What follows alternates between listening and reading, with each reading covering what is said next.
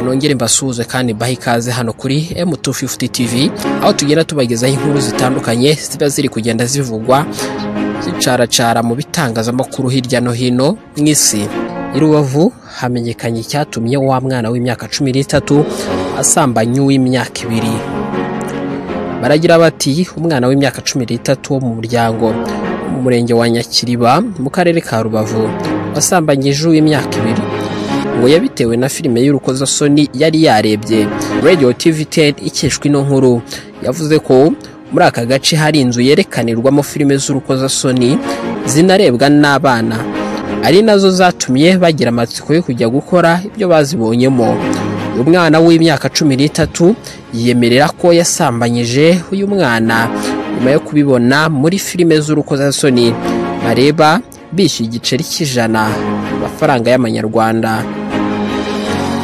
Uyu mwana avuga ko aho herekanirwa izo filime umuntu yishyura iryo jana ubundi bakamuha icyo ashaka.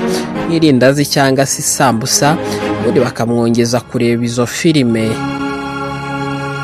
Bamwe mu babyeyi bo muri aka gace babwiye iki kinyamakuru ko impungenge bafite ku bana. Berekwa zino filime z'urukozasoni ari na zo ntandaro z'izo ngeso mbi.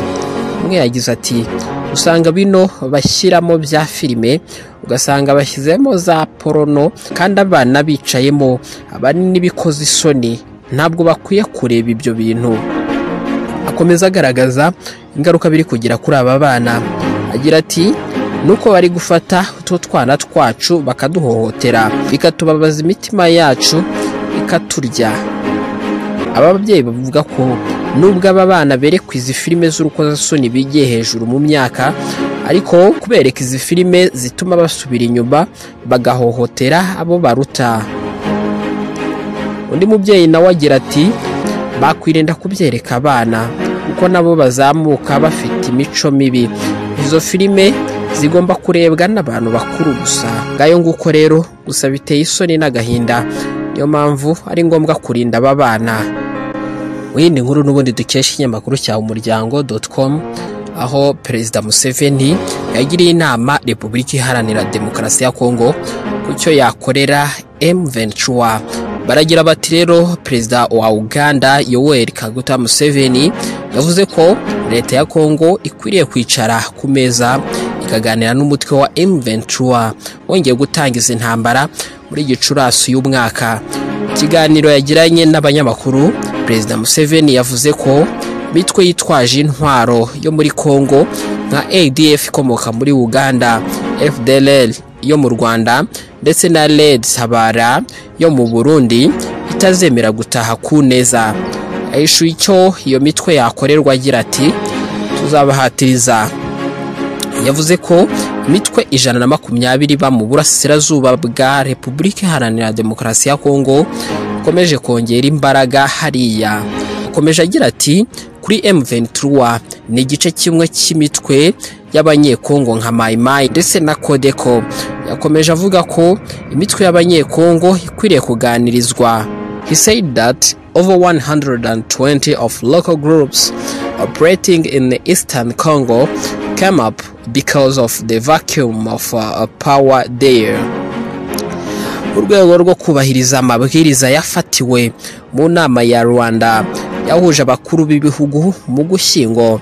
Umutwe wa M23 watangiye kuva mu bice wafashe mu ntara ya Kivu ya ruguru.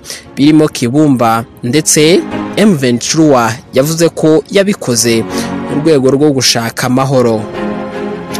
Iyi nama yasabye imitwe yose yitwaje intwaro. Iri mu burasirazuba bwa repubulika iharanira demokarasi ya kongo kumanika amaboko yarangiza igasubira iwabo nta mananiza. Cyakora perezida museveni yavuze ko hari imitwe itazabyemera. Ati imitwe nka adf ntabwo izaza mu mahoro tuzabahatiriza. Museveni yavuze ko igihe adf yahirahiraga ikinjira muri uganda iciye ahitwa ntoroko bayihaye isomo rikomeye. Ati mwabonye ibyabayeho umutwe wose twarawurimbuye.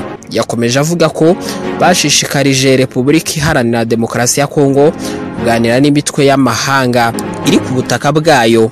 Agira ati twasabye leta ya kongo kuganira nabo bakagaruka mu mahoro.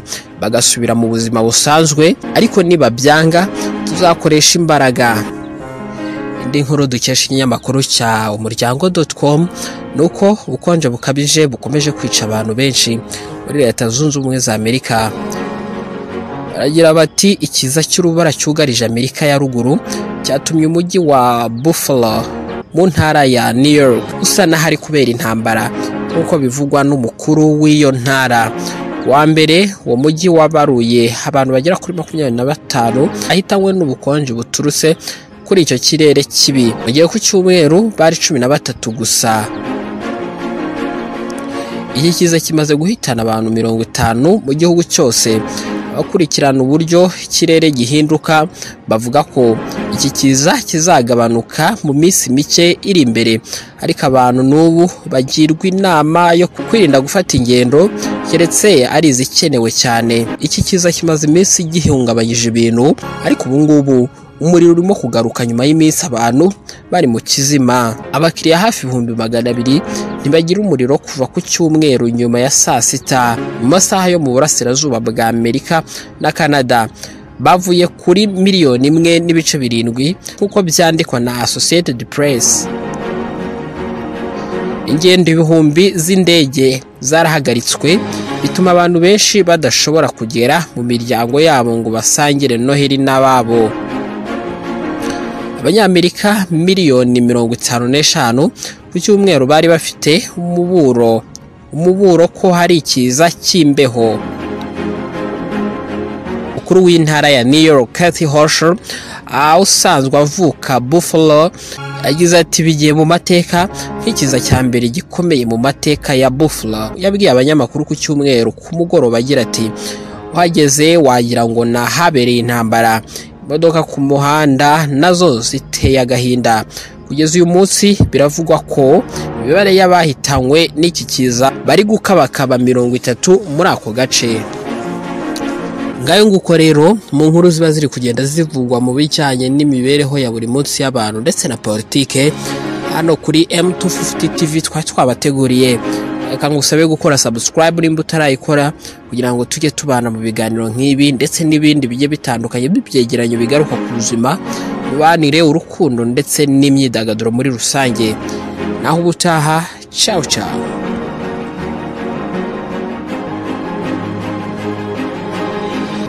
Buffalo. Buffalo. Buffalo. Buffalo. Buffalo.